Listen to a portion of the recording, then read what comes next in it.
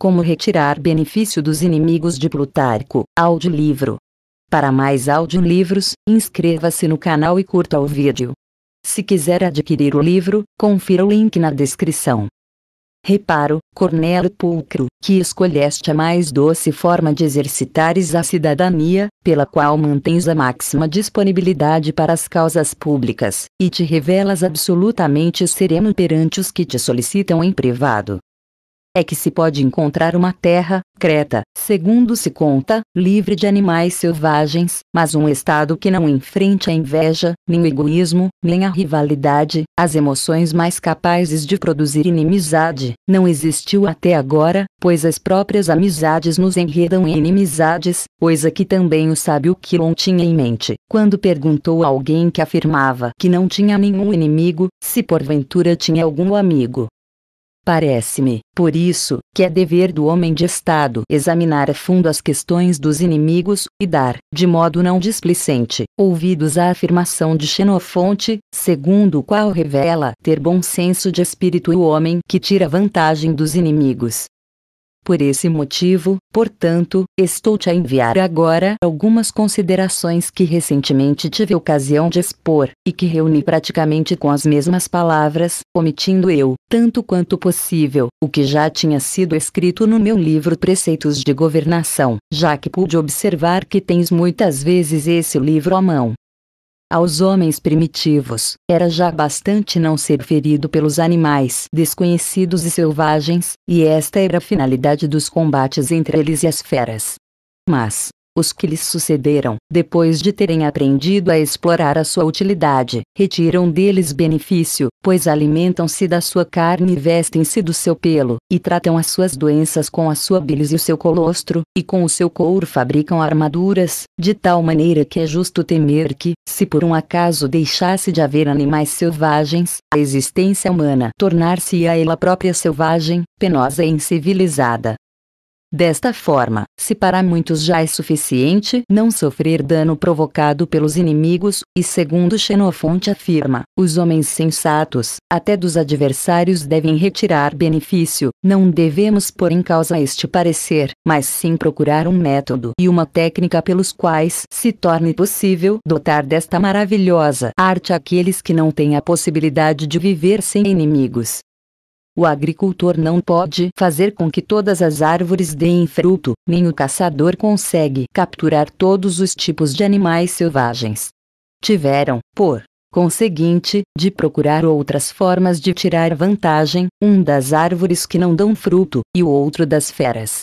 A água do mar é imprópria para beber e sabe mal, mas é nela que os peixes se alimentam e, para os que viajam, é um meio de transportar carga e de viajar para toda parte. Ao sátiro, que queria abraçar e beijar o fogo ao primeiro olhar que lhe lançou, disse Prometeu: Ó oh bode, depois chorarás pela tua barba. Pois o fogo queima todo o que nele toca, mas fornece luz e calor, e é o instrumento de todas as técnicas para os que aprenderam a servir-se dele. De igual modo, observa-se o teu inimigo, apesar de ser de diversas maneiras prejudicial e de trato difícil, não pode ser útil de uma maneira ou de outra, e fornecer-te os meios para dele tirares vantagem. Muitas das circunstâncias da vida são desagradáveis, odiosas e mesmo hostis para aqueles que as enfrentam, mesmo assim, sabes que alguns aproveitaram a ocasião de doença para dar repouso ao corpo, e foram muitos os que saíram fortalecidos e exercitados pelos combates que enfrentaram. Alguns ainda encontraram no exílio da pátria e na renúncia aos bens o caminho para a meditação e para a filosofia, como Diógenes e Crates. Zenão, quando soube que um navio por si equipado tinha naufragado, exclamou: em boa hora ages, o Fortuna, já que nos devolves ao manto de filósofo tal como há aqueles animais, de estômagos muito resistentes e muito vigorosos, que digerem cobras e escorpiões como alimento, e há mesmo quem devore pedras e conchas, assimilando-as através da força e do calor do seu sopro vital, enquanto pessoas mais sensíveis e de saúde frágil ficam nauseadas se lhes apresentam pão e vinho. Do mesmo modo, os homens desprovidos de senso até as amizades destroem, ao passo que os prudentes mesmo das inimizades conseguem tirar conveniente proveito. Em primeiro lugar, considero que o mais prejudicial de inimizade pode tornar-se no mais útil para os que se dispõem a tal transformação. O que quer isto dizer?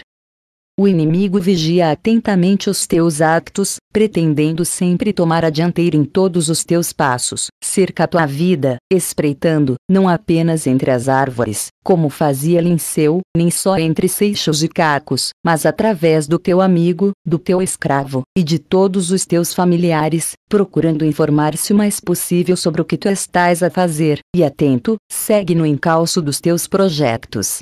Muitas vezes, os nossos Amigos ficam doentes ou falecem sem que nós tenhamos sabido, por negligência ou descuido nosso. Agora dos nossos inimigos, pouco falta até para lhes ocuparmos os sonhos.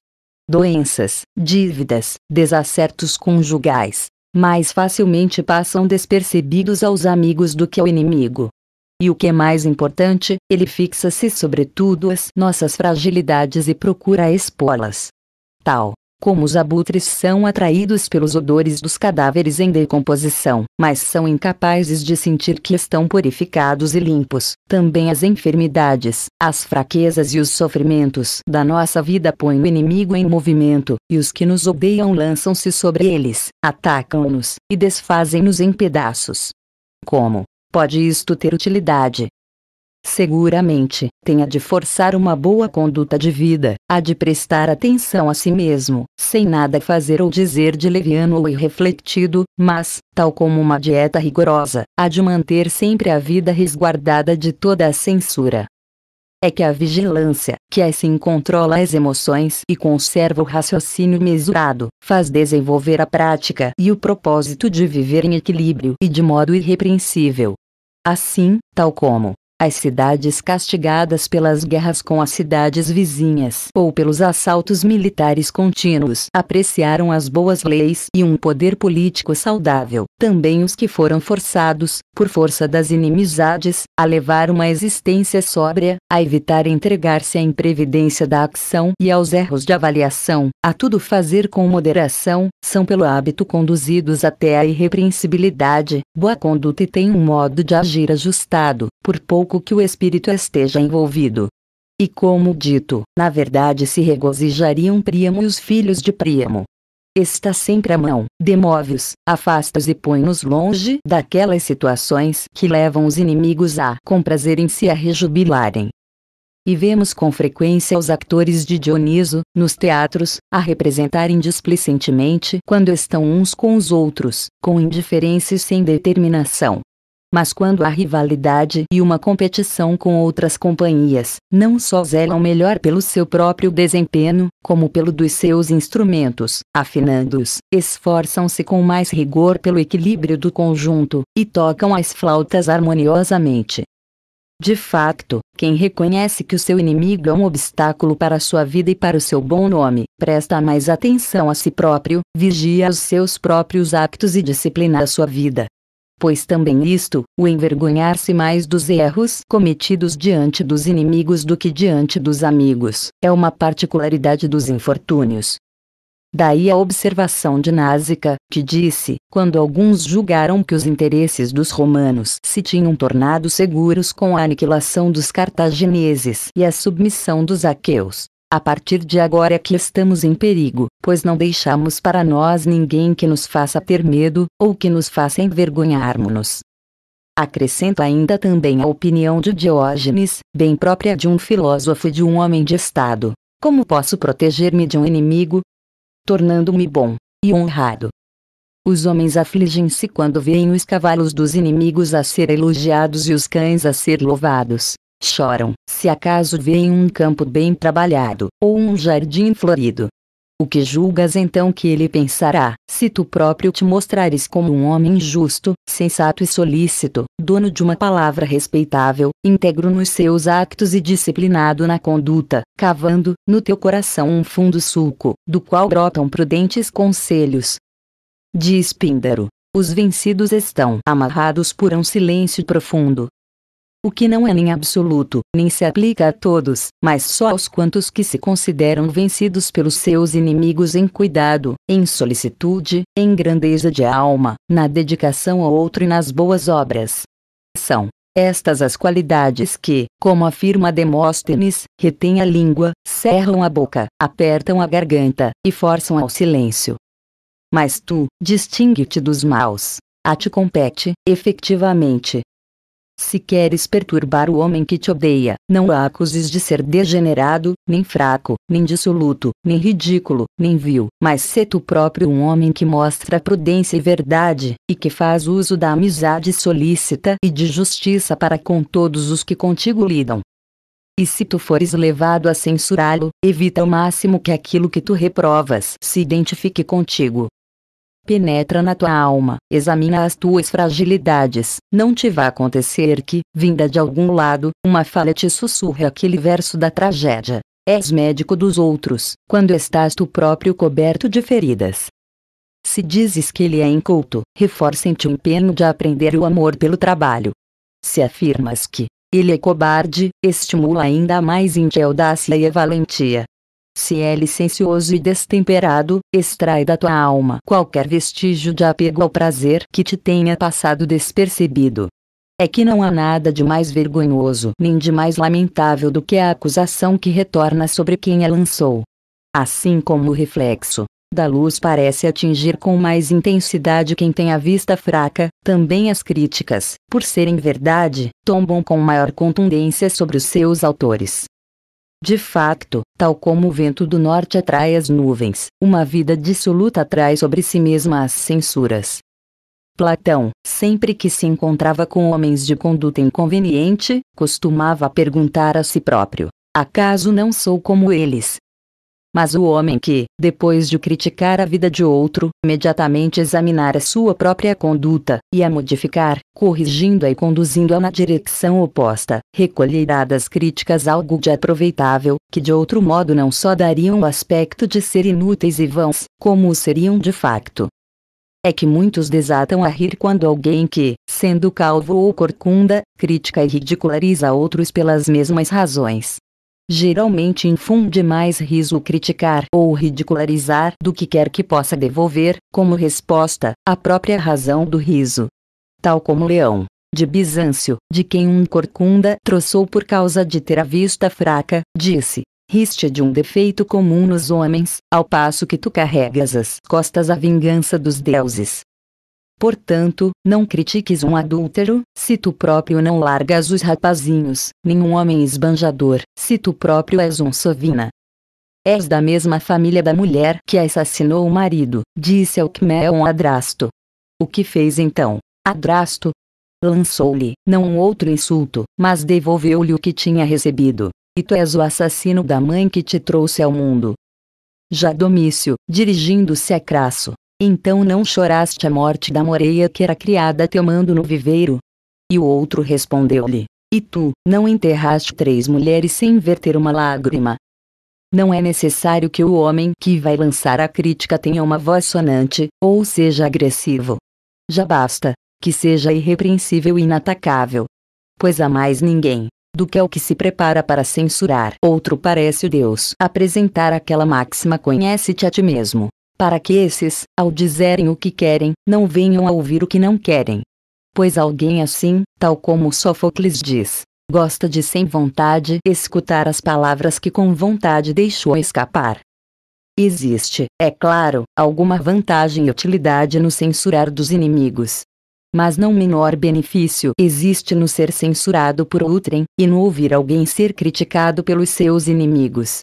Nesse aspecto Antístenes, teve razão quando disse que os que procuram sair-se bem necessitam tanto de amigos verdadeiros como de inimigos fogosos. Os primeiros, por admoestarem, os segundos por, ao fazerem censuras, os demoverem dos erros.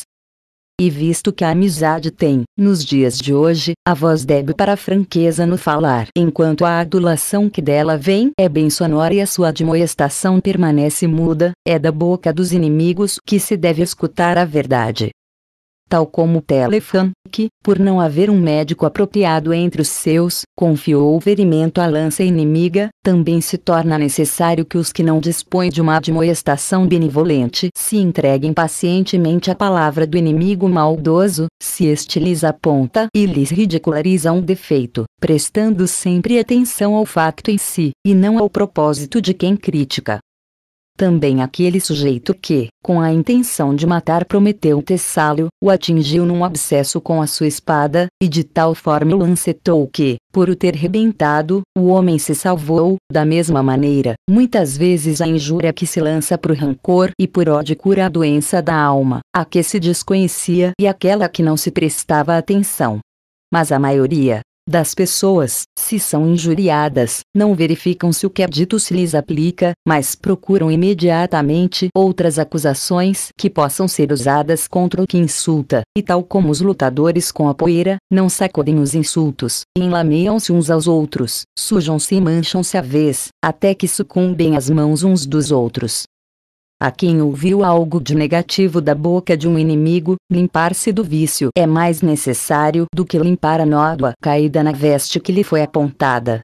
E, se por acaso alguém falar de um defeito que não temos, mesmo assim devemos procurar o motivo que pode ter gerado a falsa acusação, mantermos-nos vigilantes e temer que, sem nos termos apercebido, tenhamos cometido uma falha parecida, ou mesmo similar, à que foi apontada.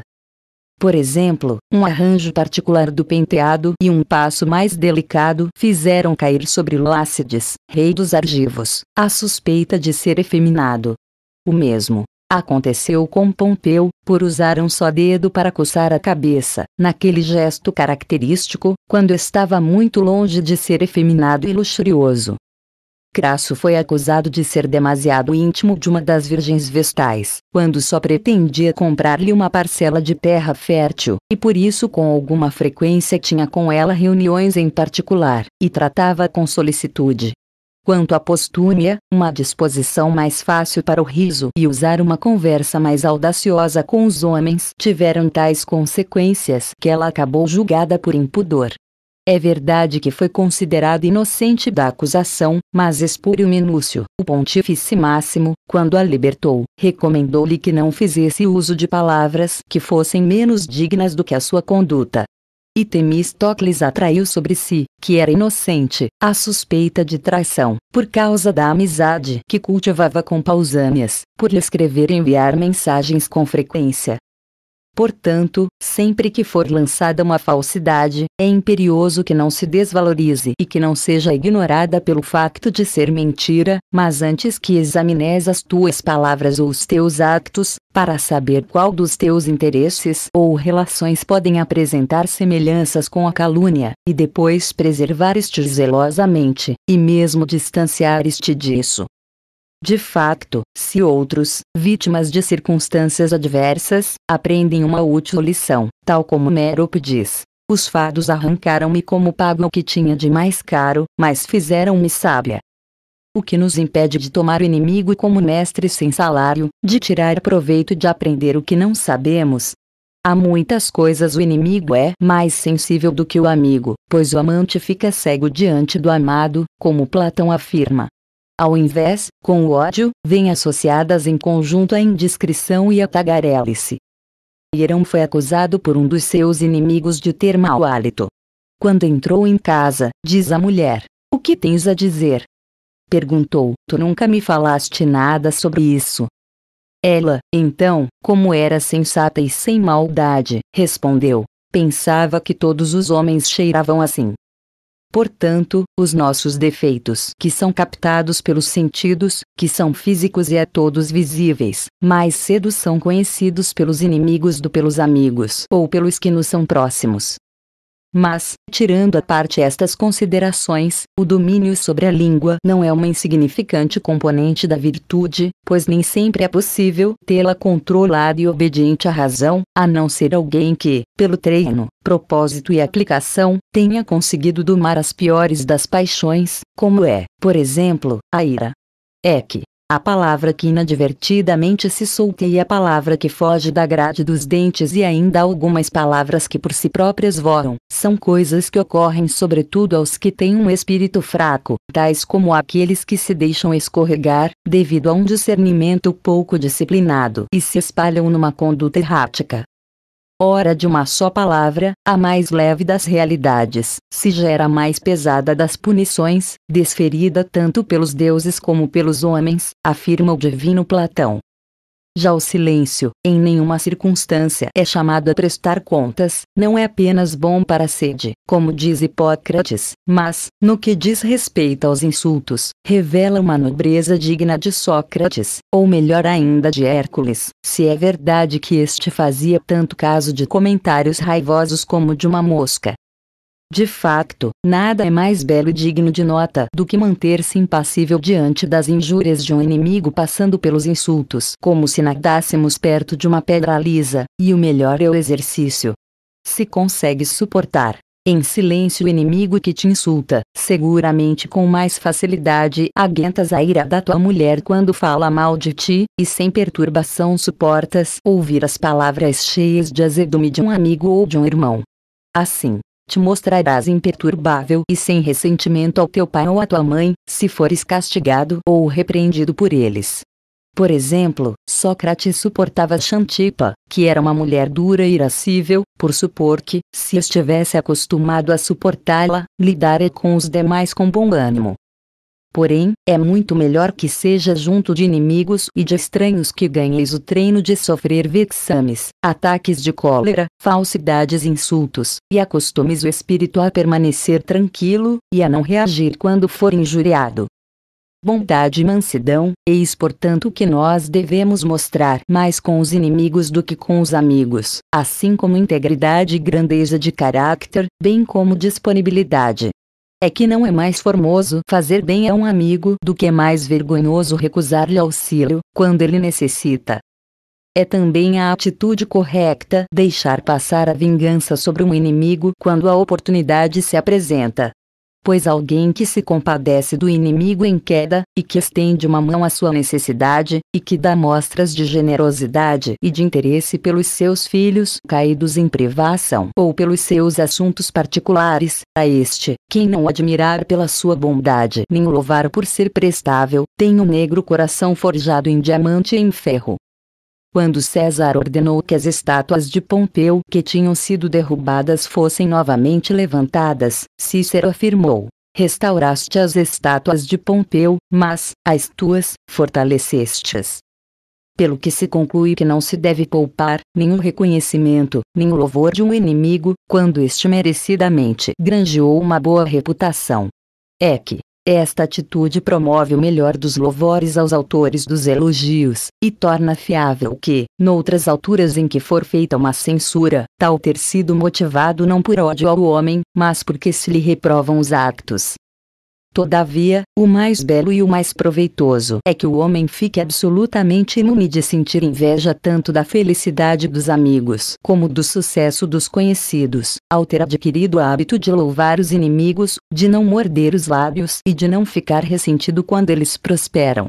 E que outro treino pode desenvolver maiores ganhos para a alma, ou um ânimo mais fortalecido, do que aquele que elimina em nós o ciúme e a inveja,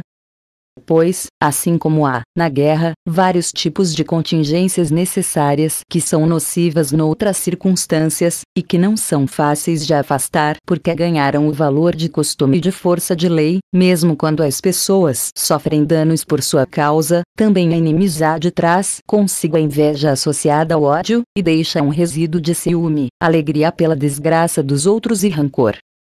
Além disso, também a molícia, o engano e a intriga, parecendo que são menos nocivos e injustos quando dirigidos contra um inimigo, uma vez instalados, permanecem sem que ninguém se consiga livrar deles.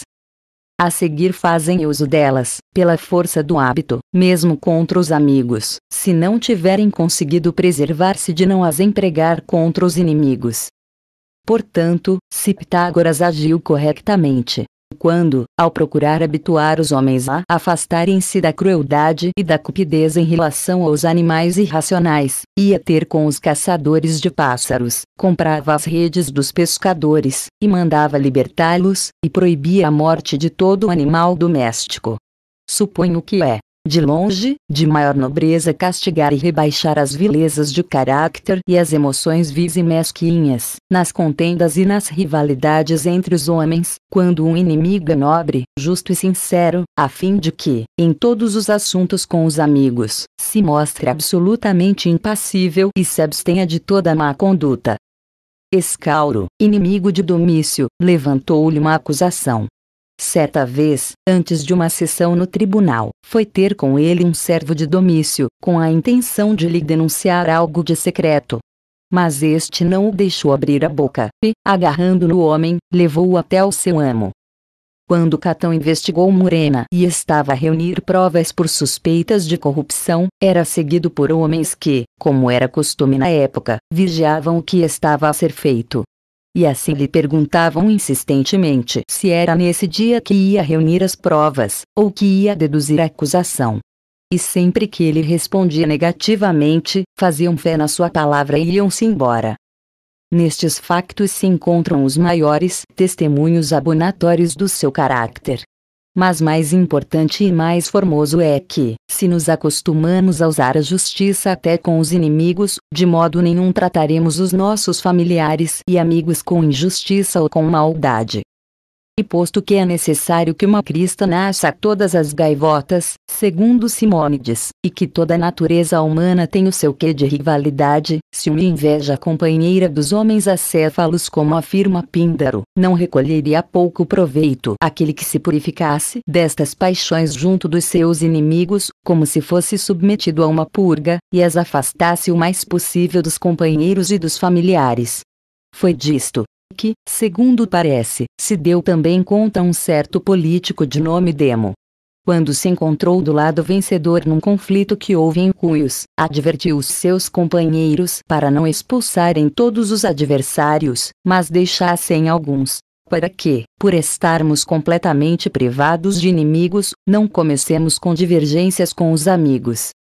pois o mesmo se verifica conosco, se estas paixões forem consumidas com os nossos inimigos, causarão menos perturbação nos nossos amigos. Com efeito, não é desejável que o ceramista inveje o ceramista, nem o poeta o poeta segundo diz Exíodo, nem deve haver ciúme por um vizinho, familiar ou irmão que se esforça pela riqueza e que atinja prosperidade. Se não houver, todavia, nenhum outro caminho para a libertação dos rancores, da inveja e da rivalidade, habitua-te a não reagir ao aguilhão que, do sucesso dos inimigos, vem a estimular a tua consciência e fazer com que a rivalidade seja canalizada contra eles. Pois assim, como os bons agricultores acreditam que beneficiam as rosas e as violetas se plantarem ao seu lado alhos e cebolas, porque nestes se reúne tudo o que existe de ácido e de mal cheiroso na alimentação, também o inimigo, tomando sobre si concentrando o teu azedume e inveja, te vai tornar mais agradável e mais bem disposto para os amigos que prosperam na sua vida. Por isso, é bom que se tenham conversas com eles sobre a honra, ou sobre o poder, ou sobre os justos lucros, não com lamentos, se porventura tem algo mais do que nós, mas analisando os motivos pelos quais tem mais, para tentar superá-los no cuidado e no esforço, no discernimento e no serviço aos outros, seguindo o exemplo de Temístocles, que dizia que a vitória de Milcíades na batalha de Maratona não o deixava pregar olho, o homem que, em vez de agir, fica a pensar que o seu inimigo é bafejado pela sorte quando suplanta nas honras de Estado ou nos tribunais, ou no exercício de cargos públicos, ou entre os amigos e os superiores, afunda-se numa absoluta inveja, frustração e apatia, e fica paralisado por um rancor estéril e ocioso. Pelo contrário, se o homem não está cego quanto ao objeto do seu ódio, e se se torna um rigoroso observador da vida, do caráter, das palavras e dos actos, há de dar-se conta de que a maioria das coisas que lhe provocam inveja sobrevém aos seus possuidores pela sua aplicação, capacidade de previsão e correção de atitudes, pelo que, se se concentrar nestas qualidades, exercitará a sua ambição pela honra e pela excelência, e, no sentido inverso, afastará a indiferença e a imobilidade.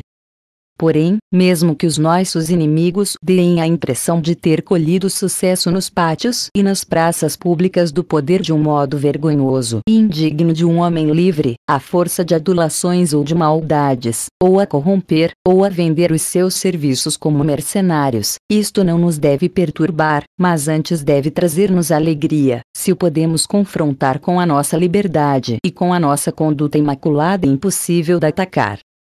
é que, como afirma Platão, todo ouro que existe sobre a terra e debaixo da terra não se pode comparar à virtude, e é preciso ter sempre a mão no nosso espírito dito de Solon. Mas com eles nós não trocaremos a nossa virtude pela sua riqueza, nem pelas aclamações dos que assistem aos teatros, comprados com banquetes, nem pelas honras, nem pelos lugares da frente junto dos eunucos, das concubinas e sátrapas que servem os reis é que nada que tenha origem na vergonha é belo e digno de ser anulado.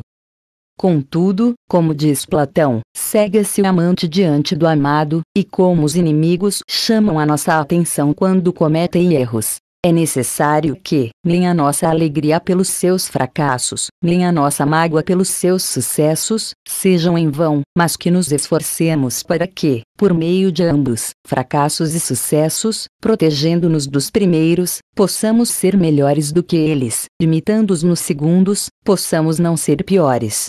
Não ser piores. Não ser piores. Não ser piores.